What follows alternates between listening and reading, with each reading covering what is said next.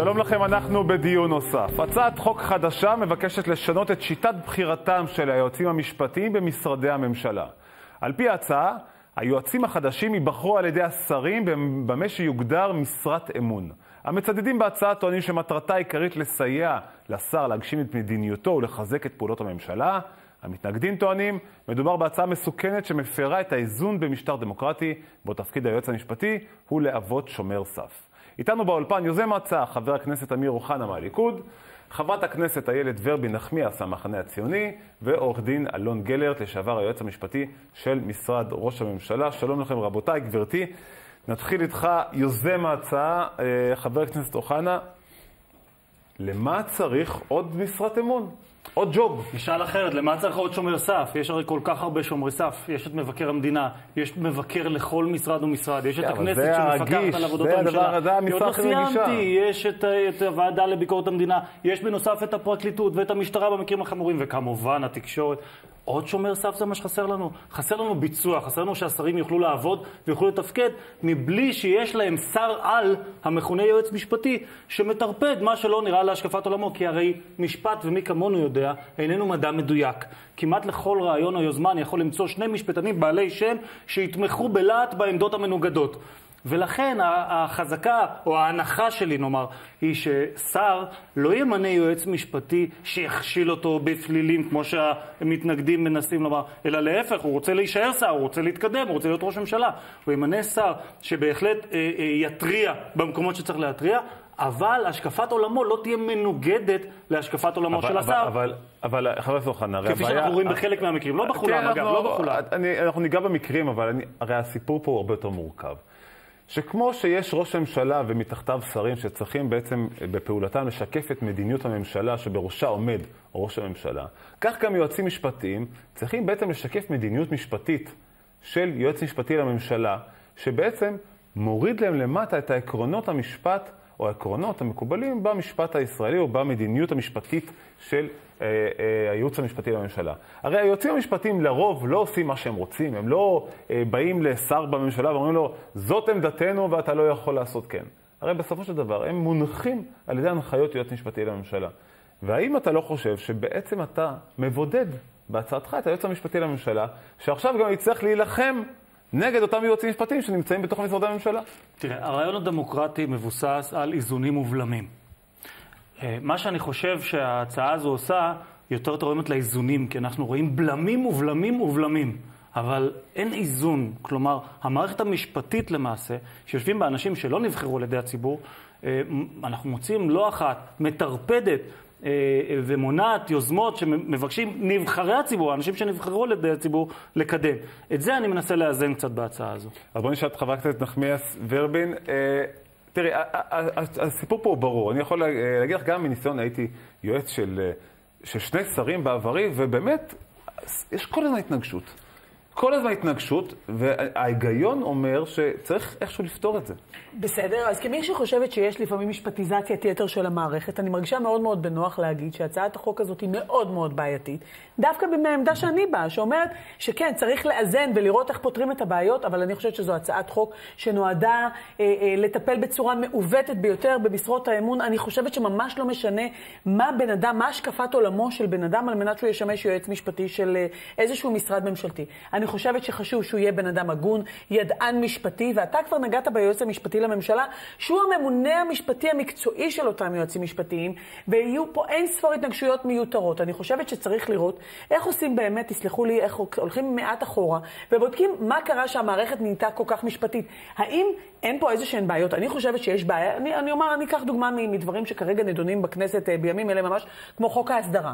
אנחנו רואים התנגדות רבתי של הייעוץ המשפטי, מהייעוץ המשפטי לממשלה דרך יועצים משפטיים ומומחי משפט אה, אה, אה, עולמיים. האם העובדה, האם, האם היה משפר ומשתפר מצבנו אם היועץ המשפטי לממשלה לצורך העניין היה אומר שזה תקין, שזה בסדר, שהחוק הזה עובר, אם עולמו רועד מבחינה משפטית והוא אומר אני לא אוכל להגן על זה בבג"ץ, כלומר אנחנו צריכים לראות איך המערכת המשפטית מצד אחד משרתת את העבודה הציבורית שהשרים מנסים לעשות, ומצד שני שלא אה, אומרים להם יבולע לכם אבל, אם אבל, אתם לא תעשו את מה שאנחנו אבל אומר מבקשים. חבר, חבר הכנסת אוחנה, אומר, תראו, יש מספיק מערכות בקרה. יש מערכת בקרה של מבקר המדינה, חושבת- ומערכת בקרה ציבורית, אני חושבת שאמיר אוחנה. טועה. רגע, אני- והיועץ המשפטי, בתוך המשרד, אמור להגיע לשר שלו, ולא להסביר לו מה לא, אלא איך. כשהייתי- איך, איך לקחת תקופה- את המדיניות שלו וליישם אותה. הייתי תקופה מאוד מאוד קצרה אה, אה, בעולם הזה של ייעוץ משפטי, של איך אתה מלווה חברה, בסדר? לא, לא משרד ממשלתי. ואני אומרת לכם שהמבחן האמיתי, כמו שאמר אמיר, זה לא מדע מדויק. ועדיין אני אומרת לכם שהמבחן האמיתי שלך כיועץ משפטי, זה להגיד ללקוח שלך את מה שהוא אינו רוצה לשמוע, גם אם זה לא נוח לו. כי כדי להוציא לפועל מדיניות אחראית, שיש בה איזונים ובלמים, אני מצטערת, אני לא חושבת שיש מספיק בלמים, לא בגלל, או אולי הבלמים לא מספיק אפקטיביים. זאת גם שאלה, האם הבלמים הם מספיק אפקטיביים. אבל אני אומרת לכם, אני מרגישה שמנסים לערער כאן פשוט עוד חלק במערכת המשפטית הכוללת, שזה אה, אה, פרקליטות, משטרה, אה, אה, בית משפט, מבית משפט אה, אה, נמוך ועד בית משפט עליון. זה עוד ערעור של המערכת המשפטית הזאת, כי מטילים בהם ספק. ומטילים, אני אגיד לכם, אולי לא ביושר שלהם, אבל באינטגריטי שלהם, בוודאי שהצעת החוק הזאת מטילה אז ספק. בואו בוא נכניס, נכניס לדיון גם את אה, היועץ המשפטי. יש לנו פה יועץ משפטי של משרד ראש הממשלה, לשעבר כמובן. אה, מה עדיף, להיות משרת אגב, אמון? למה, למה כמובן? הוא היה יועץ משפטי מצוין. או היה, לא, אני אומר ש... כן. עבר כמובן. לשעבר לא- כמובן. אה, שלא יחשבו שהוא יועץ נוכחי, כן. ואז אנחנו נשים אותו בניגוד נכון, עניינים. בימי גם ראש הממשלה ברק וראש הממשלה אה, שרון. כן, אז מה עדיף, להיות משרת אמון או להיות אה, לא משרת אמון?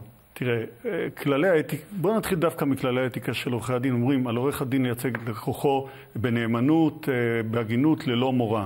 אה, ובעצם זה, אנחנו לפחות, אני היום עורך דין בעולם הפרטי, מבחינתנו אנחנו, בשבילנו יש לקוח, ובשביל לקוח אנחנו עושים את כל מה שאפשר במסגרת החוק.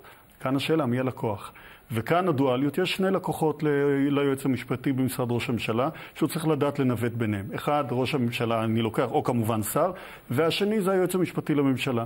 והוא בעצם, אני רואה בזה חוליית הקשר, שצריכה לשמור על ראש הממשלה, שצריכה לתת לו את הסיוע לכל מה שהוא רוצה, ומצד שני, לא לעבור על אה, הוראות החוק. ובמקום שהוא מתלבט, אז הוא הולך ליועץ המשפטי לממשלה. מבחינתי, ההצלחה הכי גדולה אה, אה, שאני הרגשתי בתפקיד שלי, בדיוק ב... ב, ה- ב הקושי הזה שאנחנו מדברים עליו, שאחד מראשי הממשלה אמר, תשאלו את גלרט לא אם זה חוקי או לא, אלא אם זה ראוי. ולכן אתה צריך להיות בתור יועץ משפטי, למצוא את המקום ולנסות לנווט מה גם אתה עוזר, אתה מסייע לראש הממשלה להגשים את מטרותיו, כי בסוף הוא קובע מדיניות. ומהצד השני, אתה צריך לשמור עליו לא לעבור את הגבול. ואם אתה באמת פועל במתחם הזה ולא, מפס, ולא מפקשש ואומר, אני, כל תפקידי זה אה, לשמור עליו ושהוא אה, ייבחר עוד פעם, אלא אה, אה, לפעול במגבלות החוק. ומצד שני, אתה, יש לך את היועץ המשפטי שיש לך עם מי להתייעץ, ואגב, יש לו פעם ויכוחים אה, מולה. לא, לא פעם, אני זוכר, אחד המקרים הבולטים דווקא בתקופת ברק, שהייתה איזושהי תגובה לבג"ץ, שמחלקת בג"צים רצתה לכתוב איזשהו סעיף מסוים. בעיניי... זה היה בלתי קביל, והלכתי ליועץ ושכנעתי אותו שזה לא, לא תקין, כי יש בכל זאת לקוח של היועץ המשפטי, זה ראש הממשלה אה, בבג"ץ, ולכן צריך לשנות את הניסוח, ולכן זה יתקבל. זאת אומרת, אתה צריך, היועץ המשפטי צריך לשמור. עכשיו, איפה הקושי בהצעה? אין, יש בה היגיון מסוים, כי היא אומרת, בסוף יש לקוח ואתה צריך לדאוג לו, וחזקה על מי שיביא אותו בתור עורך דין, שהוא גם ידע לשמור אה, אה, נאמנות ללקוח או לבוס השני שלו, אני אגב חושבת וזה היועץ שיש, אה, המשפטי. יש, רגע, יש עוד צלע במשולש הזה של הלקוחות, שקוראים לו הציבור. זה אני לא אגיד- לקוח, זה לא לקוח רגיל. ברור, אבל אני אגיד את ה... בעיניי היועץ המשפטי הוא מייצג את הציבור לצורך הדיון. אוקיי. כי אני אומר שוב, יש כאן קושי, יש לך לקוח בתור עורך דין, יש לך לקוח שבמידה מסוימת אתה צריך לדאוג לו ולשמור עליו. אגב, גם בעולם הפרטי שיש לנו לקוח, אנחנו נעשה בשבילו את הכי טוב, אבל גם נשמור עליו שהוא לא. יעשה טעויות ולא אבל- יסתובב. אבל- תן לי כן. את המשפט האחרון. איפה בכל זאת הקושי עם ההצעה? יש שני קשיים. אחד, התחושה היא שאתה זמני, כי אה, התחלף שר בעולם של היום, שהשרים מתחלפים בתקופות יחסית קצרות במשרדים מסוימים. קודם כל זה יוצר אי-ודאות, ובהכרח אה, אה, פוגעת בתפקוד שלך. והדבר השני, שגם התקופות הקצרות שמדברים עליהן, או שהן קורות היום, הן גורמות לכך שההתמקצעות פשוט נפגעת. יועץ משפטי שיהיה שנה או שנתיים במשרד,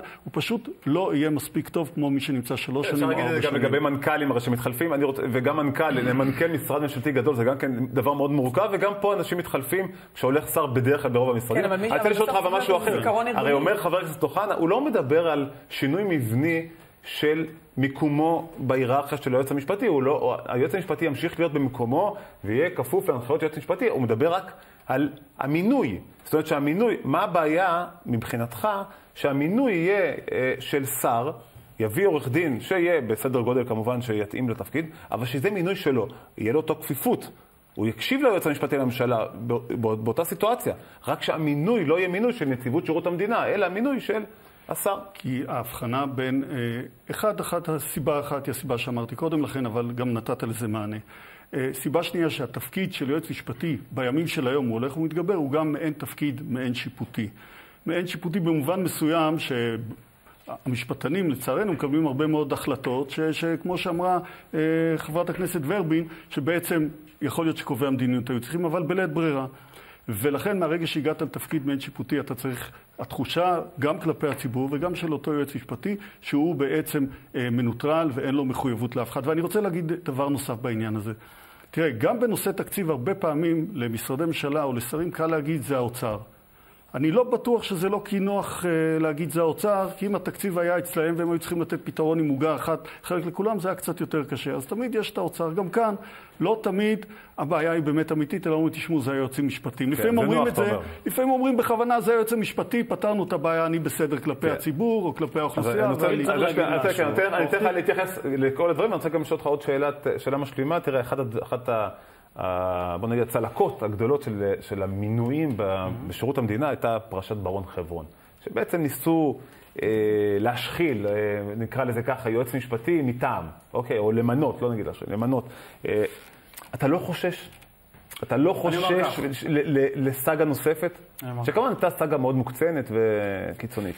עורך דין גלרט עבד בהרמוניה יחסית עם ראשי הממשלה שתחתם הוא עבד, עד כדי כך שכשהוא ביקש לעזוב מסיבות אישיות, ראש הממשלה שרון, למיטב נכון. ידיעתי, ביקש מרעייתו שתאפשר לו אה, להמשיך, שיוכל להישאר בתפקידו. אבל תאר לעצמך שאתה שר, נבחר ציבור, מגיע למשרד, יש לך מדיניות שאתה רוצה להוביל, נבחרת עליה, על זה הציבור בחר בך, ואתה לא מצליח, יש לך יועץ לעומתי, שחושב 180 מעלות ממך, ופשוט מטרפד לך כל יוזמה שאתה מנסה לקדם ודבר שאתה רוצה להזיז, ואתה לא יכול לגעת בו. למה זה קשור למה שאתה לא יכול להזיז אותו, זה לא מינוי אישי, אתה לא יכול להזיז אותו. אתה עכשיו תקוע איתו עד סוף הכהונה שלך, בין אם היא קצרה, בין אם היא ארוכה. אבל אמיר, למה זה קשור לדעות? ואתה לא יכול להקשיב. למה זה קשור לדעות?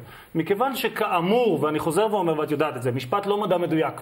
כן, ועל כל סוגיה משפטית, אני יכול למצוא מישהו שיתמוך בדעה א', בדעה ב', ושניהם משפטנים בכירים ולגיטימיים. באמת, אני בכוונה לוקחת את זה, חוץ מחוק ההסדרה. אגב, חוק ההסדרה, דיברת על היועץ המשפטי לממשלה. אני לא חושב שזה נכון לדרוש מיועץ משפטי לייצג עמדה שהוא איננו מאמין בה בבית משפט. אה, ההצעה שלי תצמצם את המקרים הללו.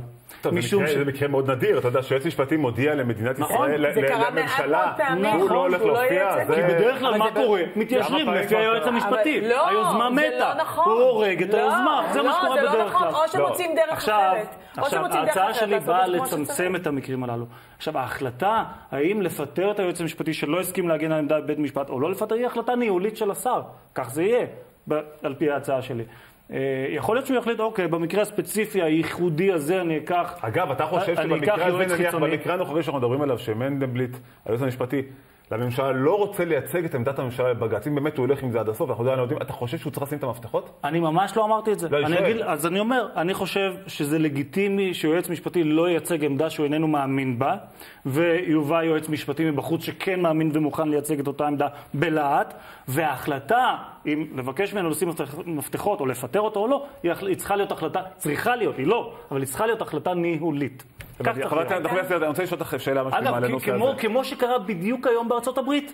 הוציא הנשיא צו נשיאותי מדיניות שהוא רוצה להוביל אותה. אגב, שגם מדינת ישראל לא וגם מדינות משפטית. רבות מוסיפים אבל אותה. אבל היא לא יועצת משפטית שהוא בחר בה. אני רוצה לשאול את שניכם. הוא רשאי לבחור בה על פי שיטת הממשל האמריקאי. אז אני רוצה לא לאמץ את הדבר הזה. לא, אתה רוצה לאמץ מה שנוח לך. בדיוק, נכון. אתה לא רוצה לאמץ את האיזונים המובלמים האמריקאים. לא, אני רוצה לאמץ את הדברים הטובים. אתה רוצה לאמץ מה שנוח לך. אתה לא רוצה לאמץ קציבת כהונה. כשתרצה לאמץ קציבת כהונה.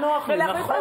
אז אני מצטערת, אז זה לא עובד והיועץ המשפטי לממשלה, שאגב, אם אתה אם אתה בודק את הטרמינולוגיה של היועץ המשפטי לממשלה, שמתנגד להצעת החוק ויבלום את הצעת החוק, ולא ייתן שיקחו את הכוח מהיועצים המשפטיים, אתה מבין איפה הכוח באמת. אז בואי את ואני, איילת, אנחנו מראית עין של דמוקרטיה, אני שהציבור יגיד, טוב, בחרנו בנציגים, אבל מי שיבלום ומי שיחליט, אלה היועצים המשפטיים. האופן שבו אתה מתבטא על היועץ המשפטי לממשלה, שלא אני בחרתי בו, אלא ראש ממשלתך, כן, וממשלתך ההבדל? בחרה בו, אני חושבת שהיא צורת התבטאות מאוד מאוד מזלזלת ולא מתאימה. אני חושבת שבסופו של דבר, אני לא יודעת מה אה, מנדלבליט חושב. הוא עבר ועדת איתור, אני היה ברור... לא, לא, אני אה, מדבר על ההצעה שלי, הוא התבטא אני לגבי מדברת, ההצעה אני יודעת, שלי. אני אמרתי, כן. ואני אומרת ואני אומרת לך, הוא, הוא בסופו של דבר, אני חושבת שהוא צודק. בסוף צריך להיות מישהו שמנהיג איזושהי מדיניות משפטית. יכול שיש בה טעויות, יכול שיש בה פגמים, אבל האופן שבו אתה בא למשוך את השטיח מתחת לרגלי היועצים המשפטיים ולתת להם תחושה שהם כל הזמן מאוימים, בין אם על ידי החלפה ניהולית, שאני חושבת שזאת בעיה, בגלל, גם בגלל מה שאמר עורך דין גלרט, אבל גם בגלל שאני רוצה שהם יהיו מסוגלים לפעול על פי היושרה המשפטית שמחייבת אותם. הגם שזה לא מדע מדויק, צריך להגיד, אמיר, הרבה פעמים גם במשפט יש נכון ולא נכון. ואז הולכים ליועץ המשפטי, והיועץ המשפטי, בעיניי, מחובתו המקצועית. לשרת את הלקוח, ואני כן רוצה להדגיש את הנושא של הציבור, זה לא רק היועץ המשפטי לממשלה. יש עניין של מראית עין ואיך הציבור רואה את התפקוד של היועצים המשפטיים ואת ההחלטות של השרים. אני חושבת שצריך לבוא ולומר בהגינות, היועץ המשפטי צריך לבחון איזה דרך חלופית יש לשר, על מנת שיוכל כן להוציא לפועל את מדיניותו. אני לא מתנגדת לכך ששרים יוכלו להוציא לפועל את מדיניותם, גם בגלל שאני עצמי רוצה להיות שרה, וגם אתה רוצה להיות אז שר. גם תהיה, גם אבל. גם בגלל, אבל גם בגלל, תודה רבה, אבל גם בגלל שאני באמת חושבת שצריך למצוא את הדרך לפעול באופן אה, אה, אה, חוקי וחוקתי, וגם למצוא את הדרך לאפשר לשרים להוציא תודה. לפועל את עורך דין. גלרט, קודם כל אני אתן לך להתייחס להכל, ואני רוצה גם שתיגע גם במה שהזכיר פה חבר הכנסת אוחנה, על נושא של מה שקורה בארצות הברית.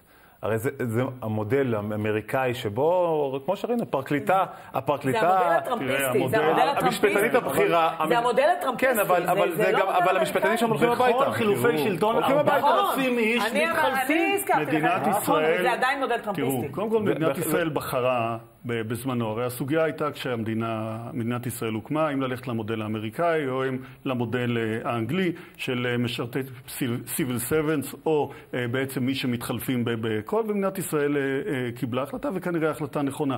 אני חושב שיש קוריוז קטן, שבן גוריון, שמפא"י נחשבת, הרי בן גוריון נחשב אבי המינויים אי פעם, בן גוריון ניסה ב-1954 להעביר את חוק שירות המדינה מינויים, שבעצם חייב בחירת עובדי מדינה במכרז, ולא הצליח. רק בסיבוב השני הוא הצליח להעביר את החוק הזה, גם לו זה לא היה כל כך קל. אבל אם נחזור, תראה, יש כאן מיתוס מסוים.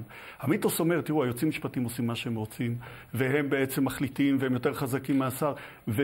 תאמינו לי, קודם כל לא כיף להיות יועץ משפטי במקום שהשר שלך, אה, אתה בת- בתקל איתו. לכן, חזקה שכשמגיעים למקומות האלה, ואין כל כך הרבה מקומות כאלה, המקומות, כשמגיעים למקומות האלה, כנראה באמת יש איזשהו נושא עקרוני. ולכן האיזון הוא בסך הכל נכון. השאלה היא לא זאת, האם היועץ המשפטי יותר נאמן לשר או לא, כי היועץ המשפטי רוצה לתת ללקוח שלו את השירות הכי טוב לשני הלקוחות, כמו שאמרתי, וגם נלך לציבור, כמו שאומרת חברת הכנסת נחמיאס ורבין. אבל...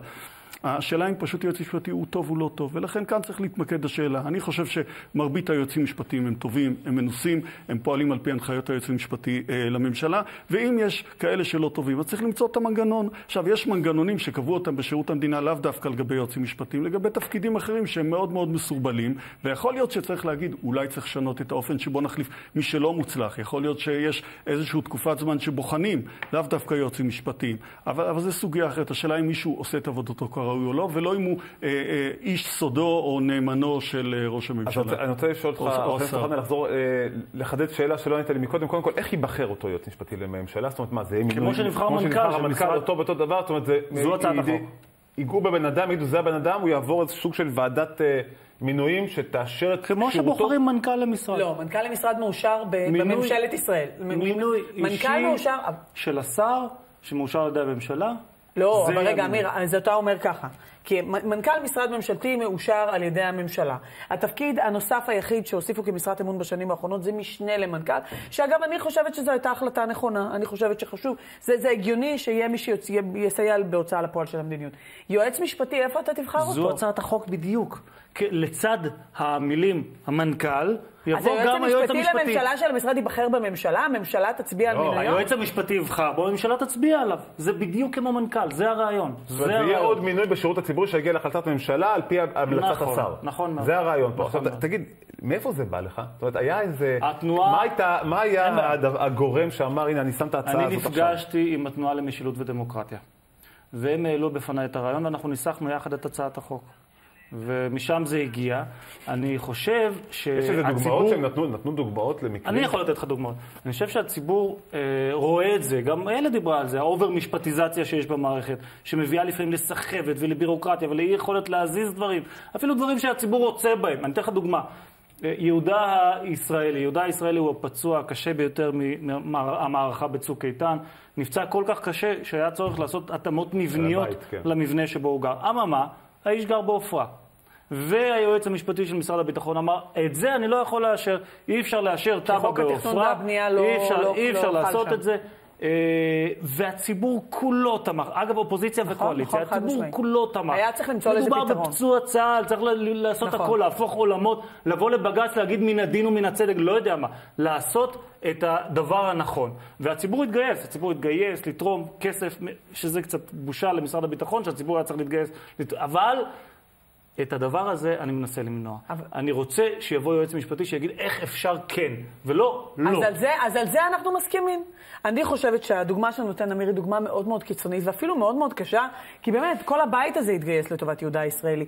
אני חושבת שיש בעיה בגלל שחוק התכנון והבנייה לא קיים בעופרה, אני לא ניכנס לפוליטיקה עכשיו, בואו נחזור לגושי ההתיישבות, נקבל לגיטימציה בינלאומית, ויהיה גם, אה, והחוקים, אה, וחוקי מדינת ישראל יחולו שם, אבל זה באמת עניין פוליטי. אני אומרת משהו אחר, אני חושבת שיש מקרים ואירועים שבהם יועצים משפטיים חייבים למצוא פתרון. זה באמת מקרה מאוד מאוד נדיר. אני לא יודעת אם אה, אה, לעורך דין גלרט יש עוד דוגמאות למקרים כל כך כל כך קיצוניים, שבהם באמת אתה אומר לעצמך, הדעת כמעט לא סובלת את זה שהיועץ המשפטי לממשלה מנע את זה שמשרד הביטחון ישקיע את הכסף שצריך בביתו של היהודה הישראלי. אבל זה באמת מקרה מאוד מאוד קיצוני. ממקרה אחד קיצוני, ואתה יודע את זה אני. אתן לך עוד דוגמה. הדוגמה הזאת יש בה קושי. כי אני, לא, אני אבל במקרה משוכנע- אחד קיצוני לא עושים משפט, זה מה שאני רוצה אבל לומר. אבל שנייה, אבל הדוגמה הזאת יש בה קושי, לפחות מבחינת הפתרון. כי הדוגמה הזאת מדברת על מקרה שיועץ משפטי במשרד. אין לי ספק שאם הסוגיה אה, היא כל כך מהותית, הוא הולך למשנה ליועץ המשפטי למה- לממשלה, נכון, שאחראי על תכנון ובנייה. נכון. לכן אין לי ספק שהוא לא קיבל החלטה לבד, ויותר מזה, אם השר שלו אומר, תשמע, היועץ המשפטי שלי הוא באמת אין עם מי לדבר, אז הוא בעצמו הולך למשנה ליועץ המשפטי לממשלה. אין סוגיה שהשר נתקל בה מול היועץ המשפטי שלו, שהוא לא יכול ללכת אה, מעליו, וזה קורה יום-יום. לכן הדוגמה הזאת היא לא בהכרח זאת שדורשת את הפתרון אבל שאתה גם מדבר אם היא עליו. דוגמה מקוממת, אבל גם אם היא דוגמה מקוממת, אני אומרת, bad cases make bad law. אנחנו יודעים, מקרים, מקרים רעים עושים חוק רע, ולכן אני חושבת שמהמקרה הזה שאתה לוקח, זה, זה, זה לא דוגמה מספיק טובה להוצאה לפועל. של מדיניות אין לי בעיה לתת שר. עוד דוגמאות. שר החקלאות אחראי על המערך השירות הלאומי בישראל. אה, למה זה סיבה פוליטית ואפשר לדבר על זה גם שם. אנחנו יודעים למה, מאה אחוז. כן. אה, אבל אה, הוא ביקש למנוע שירות לאומי לבצלם. שירות לאומי, בצלם מקבלים תקן של שירות לאומי. הוציא את ההנחיה, הוציא את ההוראה, ואומרים היועצים המשפטיים, אתה לא יכול. אתה לא יכול לעשות את זה. אבל אני השר, אני קובע מדיניות, אני נבחרתי כדי לקבוע מדיניות. אני רוצה שמי שמקבל שירות לאומי טוב, מה שאתה בישראל... אומר שהיועץ המשפטי של משרד החקלאות. של משרד החקלאות, שר אה, החינוך, שר החינוך כן, אומר, כן. שר החינוך אומר לך. אני לא מוכן ששוברים שתיקה, שמעודדים את בני הנוער לא להתגייס לצה"ל. זה לא מה שהם עושים, אבל שמענו גם אני בני לא נוער אומרים. את זה אגב, ייכנסו לבתי הספר של מערכת החינוך. אומר, טוב, עושה את ההנחיה, בסדר, אבל היועצים המשפטיים אומרים, אי אפשר לאכ- לאכוף את זה, אי אפשר לקיים... אז מה אנחנו עושים, אנחנו כמחוקקים? מוציאים חוקים. אנחנו מוציאים חוקים, אבל לא ככה זה צריך לעבוד. הרי זה ברור, זה לא לא, ככה צריך ברור, לעבוד. זה לא ברור, אני לא אומר ברור, אבל סביר להניח שכשאתה בקואליציה, היכולת שלך להכיל חוק כזה היא הרבה יותר, אה, הרבה יותר קלה. נדמה לך. זאת אומרת, הרבה הרי פעמים... ברור, את תבוא, הרבה הרי, פעמים- הרי את, לא, את, ברור- את תבוא יום אחד ותהיי שרה. ואיחל לך כבר חבר הכנסת אוחנה, אז אנחנו כן, נצטרף לאיחולים. גם לו. נצטרף לאיחולים. תודה. את תהיי שרה, תגיעי למשרד ממשלתי, ואת יש לך עכשיו, את יודעת שיש לך עכשיו את ה... את ה-X זמן הזה שנתון כי לי את יודעת, לעשות גם שינוי. הממשלות פה זה לא ארבע לעשות שנים, שינוי, כן. יש לך זמן, ואז אגב, את זה, אגב, את זה, אה, רגע, גיל, אבל את זה צריך לתקן. כי באמת, אם אנחנו רוצים לגעת בבעיית המשילות האמיתית, אז בואו נדבר עליה באמת, היא שיטת הממשל בישראל. זאת בעיית המשילות האמיתית. באופן שבו זה פועלים... המצב. לא, אבל באופן, תקשיב שנייה, באופן שבו מטילים רפש בבית המשפט העליון, ואחר כך מטילים רפש ביועץ המשפטי לממשלה, ואחר כך גם ביועצים המשפטיים של המשרדים, אנחנו פשוט קוראים מעצמנו חתיכה-חתיכה ולא מביאים פתרון אמיתי. הפתרון האמיתי הוא. שיהיו פה ממשלות אה, אה, שיכהנו את ה-X שנים שצריך לכהן כדי להוציא לפועל מדיניות וכדי לשנות פה באמת דברים. תראה, אנחנו רואים... אגב, אנחנו אני בהסכמה על זה. אני, אנחנו הולכים, ולכן אני אומרת, זה, זה לא, לא זאת בעיית המשילות. בעיית המשילות נמצאת במצב שבו אנחנו לא... כבר אבל את יודעת לא, שכדי אבל אנחנו כבר שזה לא יקרה- במצב של שיטה דו-מפלגתית. כדי שזה יקרה, צריכות שתי. המפלגות הגדולות, שמהוות רוב, ואנחנו לא אמיר, כאלה, אני כל הזמן, אמיר, להתאחד אמיר, אנחנו כן, ולקבל את אני ההחלטות רוצה להגיד האלה. לך משהו. אבל זה אני לא כן- המצב. אני כן הבאתי את זה גם בפני יו"ר הקואליציה, והבאתי את זה בפני שרים אבל גם אם. הליכוד והמחנה הציוני יסכימו על זה, זה עדיין לא רוב. לא, אני, בסדר, המפלגות הקטנות התנגדו. אבל. הם, הם התנגדו, ועדיין אני אומרת לך שזה משהו שכדאי לעבוד עליו, כי אני חושבת שבסוף, אני מה מסכים, שמעניין אותי זה. טובת מדינת ישראל. אני ואני מסכים. מסתכלת, ואני לכן גם עיינתי בצורה עניינית, ניגשתי להצעת חוק של, של אה, אמיר בצורה עניינית, וניסיתי להבין האם באמת שם נמצאת הבעיה. אנחנו רואים למשל משרד התחבורה, והנה אני אחמיא לשר מממשלתו של אמיר, ישראל, ישראל כץ.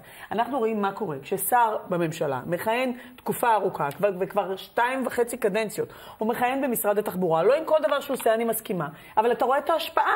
וזה בסופו של דבר מה שחשוב, וזה נוגע בכלל אני רוצה- להוצאת מדיניות. ההמשכיות נכון, היא מה נכון. שמשפיע על הוצאת אני מדיניות. לא נתווכח. אנחנו מתקרבים לקראת סיום, אני רוצה לשאול אותך, את אה, עורך דין גלרט, אה, יש איזה אה, נוסחת ביניים, אתה יודע, עורכי דין צריכים לדעת, בדרך כלל יודעים לגשר ולפשר. זה לא עורכי דין, זה מפא"יניקים. מפא"יניקים. תראה, אני, אני חושב ששוב, כי... מה הדבר הנכון? אני, אני אומר, הס- הסוגיה שמציף עורך דין אוחנה היא שאלה, היא, היא שאלה, אני חושב, שברובד מעט שונה. באמת שאלה של עד כמה אני בתור אה, שר מקבל החלטה, ועד כמה יועצים משפטיים הם אלה שהפרשנות שלהם היא גם מגיעה לפרשנות מעבר ל- לקביעה חוקי לא חוקי, אלא יש גם תחומים, יש חוקי לא חוקי, ועד כמה אנחנו הולכים באמצע לאפור יותר או לאפור פחות, ומי בעצם מקבל את ההכרעה, וזה דיון, דיון הרבה יותר רחב.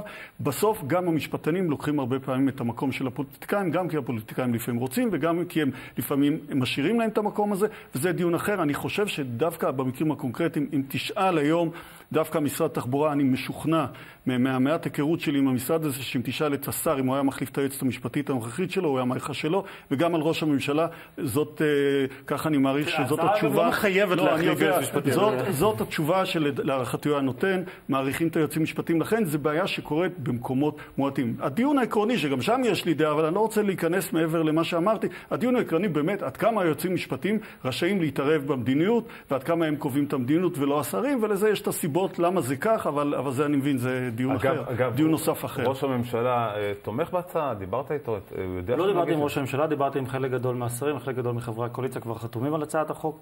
אה, אני, אני לא רוצה לנבא האם הצעת החוק שלי תתקבל כפי שהיא. אני כן מוכן להתנבא במידה גבוהה של ביטחון שהמצב הנוכחי ישתנה. כלומר, אתה, יש, יש סייגים בהצעת החוק שאתה... שאתה? לא, אבל אם נצטרך לעשות איזה שהן פשרות כדי להגיע למצב שאת המצב הנוכחי נוכל לשנות, אז יש על מה לדבר. זאת אומרת, אה, ההצעה לא באה בהכרח אה, כאפס או אחד. זה לא בינארי. ברור. אבל אני רוצה לשנות את המצב הנוכחי. אני חושב שעל זה אולי, אם הבנתי בשוליים, יש גם הסכמה ביני טוב, לבין אז אנחנו. עוד... אנחנו פה כדי לשמוע. ולעקוב אחרי לא, הצעת אני לא החוק. לא מסכימה בכוח. אנחנו נאלצים לסיים בנקודה הזאת. אני מאוד מודה לך, חבר הכנסת אוחנה, עורך דין גלרט, חברת הכנסת נחמיאס ורבין. תודה רבה לכם שצפיתם בנו. אנחנו נתראה כאן בשבוע הבא. שלום ולהתראות.